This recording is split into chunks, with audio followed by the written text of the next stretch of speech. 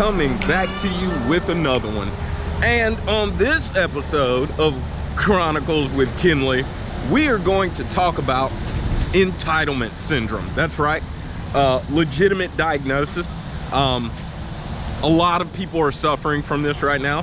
As a matter of fact, I saw it in action this morning in one of our prime groups. And at first I told myself, you know, you know, I really ought to doggone screenshot this stuff and just take the name out or whatever and post it on my YouTube as a prime example of my views on entitlement. Um, and just as an example of, I'm checking out this bench, make sure I can sit down, as an example of somebody living suffering from this entitlement syndrome. We have not found a vaccine or a booster shot for it yet. We do not have pills. Even doctors are having a very difficult time explaining to parents what's going on. So here I am right now, youtube.com forward slash Travis Kinley Lives, going to explain this medical diagnosis. Yes, today you can call me Dr. Kinley. First, let's just define it. Entitlement syndrome is when a person who was usually born in 1990 or later, when a person desires something, anything, whatever the case may be, maybe they want a new car, maybe they want a new pair of roller skates, this person can be 20 years old or this person can be six years old, okay? I've heard it from many different age groups. It is when a person desires something, anything, but they don't want to work for it. Now, I'm not trying to work for it.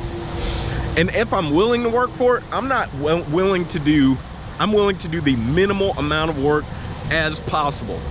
For example, if you say, I'll buy you a new pair of rollerblades if you, let's just say, rake the yard, right? And after raking the yard, you notice a little piece of trash, and then you say, little Johnny, if you'll go pick up that new piece, piece trash, that old piece of trash over there on the yard, we will then go to the store and get your new rollerblades. And Johnny says, I'm not picking up that piece of trash. That's not my responsibility. Our agreement was if I rake the yard, you're gonna get me rollerblades. I'm not picking up the piece of trash too. You can't just start adding stuff on my, okay, you need an example. I heard someone in the crowd say, give us an example, give us an example. I have just the example for you on this morning. Thank you.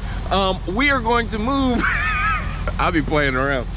I'm ready to get on the road, but this stuff really does bother me. I'm very excited to be here making a YouTube video about it right now. So here we are at the first comment. Not gonna post the actual post. We're just gonna start with the author's comments, okay? I will tell you the post says something to the effect of, hey, once you give your bills to a customer, is the job done? Are you responsible to do anything else? Now, this person clearly hasn't been trucking for a while. Otherwise, that obvious would be extremely, the answer would be extremely obvious. But we're gonna go ahead and discuss this answer on today anyways. So we move to the first comment and this customer states that, uh, this, this author, excuse me, this commenter, this dr driver states they are somewhere in Georgia but the door that they want me in there's no space to back in. Like he says literally is the last spot. So you imagine driving down the side of the building. Is the last spot as you drive down the side of the building. And then he says there's a parked trailer right in front so there's no room to do a u-turn. So if you drive down the side of the building your spot's all the way at this down at the, the the the end of the building. Then there's a parked trailer to your right so you can't really pull up and turn this way because there's a trailer that way. Okay. And he says there's a truck next to his spot making his job more difficult. Now, he continues this comment by saying, he or she, excuse me, continues this comment by saying, so they act like they don't have anyone to move it, the trailer, and want to give me a hard time talking about try again instead of giving me another door. So I said, y'all already have the paperwork. This load is your problem now. We're going to go ahead and just comment just on that first comment before we continue. Let me say that load is actually not their problem. It's not, it's not their problem at all. It's your problem. That load is on your back. It is your responsibility. It's your problem. We'll go back to little Johnny if I say rake the yard, you know, and then you get your rollerblades or something of that nature, and then, you know, the handle comes off of the rake. Well, that's not my problem as the one who charged you with raking the yard. Just the same, that's your problem, dude that load's on your back. You can't get dispatched on another load till you clear that call. Let's keep going. Let's keep going because it gets a little bit worse. The next uh, uh, uh, relevant comment on this post is a screenshot between him and uh, while he talks to his dispatcher, his or her, well, it's obvious now, as he talks to his dispatcher. He says, heads up, already spoke with the destination, the consignee, the 90, about moving the trailer out of the way. They don't want to help me out or give me a number to call someone in receiving, so I just handed them the bill, so whatever happens to the load from this point is on them. That's really not true though.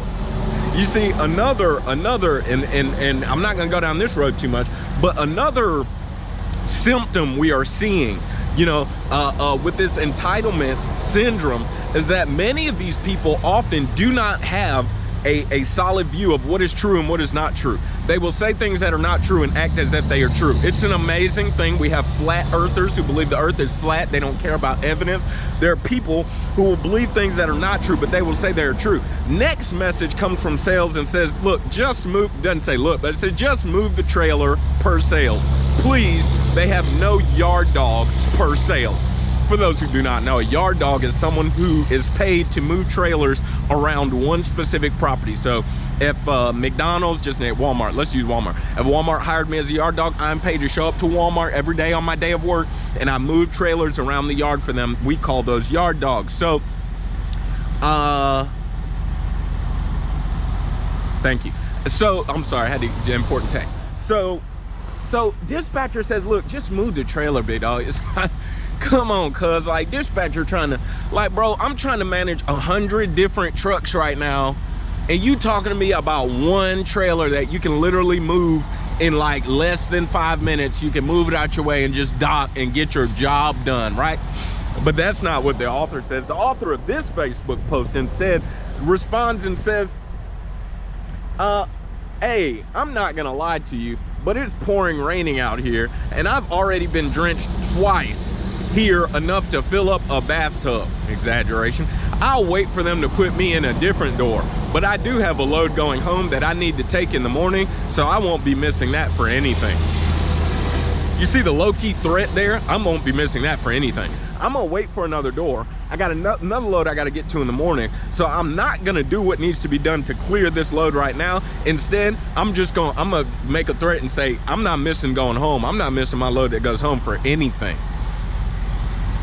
entitlement the entitlement syndrome. I have a desire. I want to go home but i don't want to do the simple five minute work to get there. Now you'll have to excuse my passion but i was raised on work. So there's nothing that burns me up than somebody who wants to work alongside me and think that they should be given what i have. Nothing burns me up more than that I don't like to be called lucky. I work too hard to be called lucky. This isn't luck, it's hard work. No luck trucking, that's why his dog on YouTube channel's named that. I told him when he, I told him when he said he was thinking about he was gonna name his channel that, I freaking love that title, dude, because that's what it's like. No, but no, no, this guy, I'm not gonna miss that for anything. Oh, it gets better. So everybody's on the Facebook post telling them, dude, just move the freaking trailer. Like it's really not even that serious, man. Why are you making a mountain out of a molehill? You could have, in the time it took you to read all the comments in the post up to this point, you could have already been docked and your trailer been shaking because they're unloading you. Instead, this person says, I'm not being responsible I'm not being responsible for someone else's trailer. It's not my job to be their yard jockey, yard jockey, yard dog, whatever. See what I'm saying? Entitlement syndrome. If you remember my uh, my video about uh, don't be a difficult trainee, this is what I was getting at, y'all.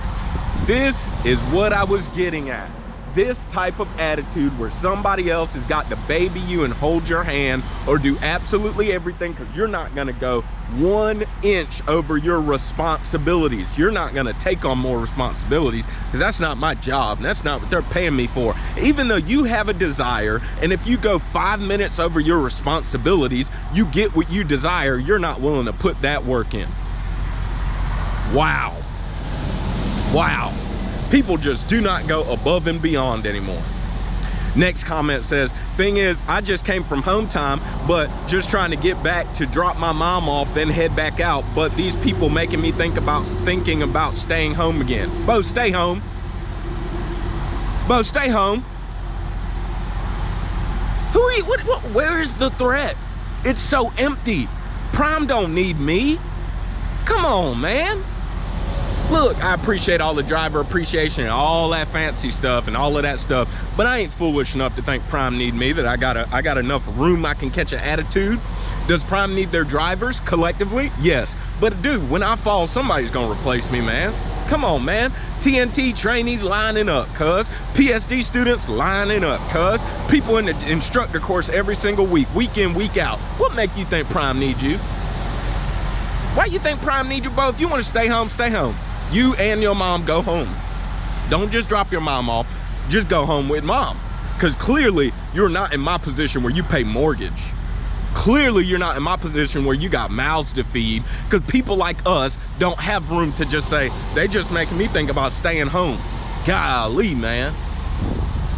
At the very least, people like me are gonna say, man, they're making me think I need to go apply somewhere else. But that entitlement syndrome says, just stay home it burns me up, man. It burns me up. It, it, it gets on my last nerve, man. My kids will be a minority. I guarantee you. And I have girls and they'll still know work. They, they already know work, but they'll, they'll still know work. No way in the world. Are you kidding me, man? Move a trailer? In order to get out the terminal, I hauled a load that I didn't have a rate on. It was one mile away. It was nothing, dude. It was not, it was less than a mile away. Literally, you exit the terminal and you it's very, very close. Some of y'all drivers already know where I did, what I did. I didn't have a rate on it. I just did the load because it got me an empty trailer so I could go to my next load. And they were like, well, I can line you up with a pre-plan, but you need to get it empty. And if you want to get it empty, here's a way I know you can do it. I didn't have a rate for it. They didn't tell me if I was getting paid, anything like that. Dude, just do it, man. Same thing. I could have said the same thing. Well, that's not my responsibility to get an empty trailer for myself. Y'all supposed to just have an empty trailer waiting on me and somebody's supposed to help me back into it and somebody's supposed to back my truck into it and then somebody's supposed to haul my freight for me while I sit in the passenger seat and get paid. I know I'm being sarcastic and exaggerating, but golly, man, you see the principle stands it's not my responsibility to get myself an empty trailer. Well, you know what? It's not your responsibility, but we were just giving you the opportunity to press on and press forward and keep on trucking and going toward your goal. But since you don't want to move toward your goal, that's entitlement syndrome. It's entitlement syndrome. If you think about coming out here, leave the entitlement at the door, with, at your parents' house, wherever you're coming from, grandma's house, leave that entitlement there. If you got kids, make sure your kids don't come up with this entitlement syndrome. It comes from them not working at the house. It comes from them playing video games at the house all the time. Just in case, if anybody's wondering, there's nothing inherently wrong with video games. That's not what I'm getting at at all. But there is something inherently wrong with a child growing up with no sense of work. Now I'm gonna get off because I feel like I could do another 15 minutes. All right, I'm gonna get off and cool down and go do my vehicle inspection, get back to work, work. But that's all I'm saying. Entitlement syndrome, man. You gotta cut it out, man. Don't come out here with that junk, dude. Don't come on no trainer's truck. We got trainees. I, I, got one more for you, man. Trainer told me we got trainees out here talking about, well, since I get a minimum guarantee, only thing you got out of me is 400 miles a day. 400 miles a day? Bro, if you come to me with some 400 miles a day junk, you can get right back off my truck, dog. Talking about because I got a minimum guarantee, you know, you're not gonna get nothing but 400 miles a day out of me. And what, I'm supposed to carry your load the rest of the way? Entitlement syndrome, entitlement syndrome. Guarantee you, if you walk around with this attitude, you ain't gonna make it nowhere. Fella I used to work for, he'd, he'd be joking around, but he'd have joking around. He'd often tell you, look, I guarantee you'll work for me long before I'll ever work for you. Well, for those out here with entitlement syndrome, I guarantee you'll work for me long before I'll ever work for you. Find you somebody love. I love y'all. Don't forget, it's not about what you believe. It's all about why you believe it and live free.